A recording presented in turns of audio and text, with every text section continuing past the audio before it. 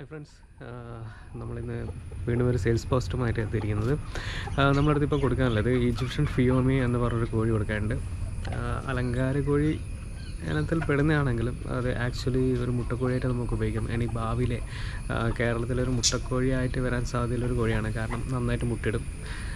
നമ്മളടുത്ത് ഇപ്പോൾ ഒരു പീസ് ഒരു പേര കൊടുക്കാനുണ്ട്. ആറുമാസമായത് ഏകദേശം മുട്ടയിടാറായി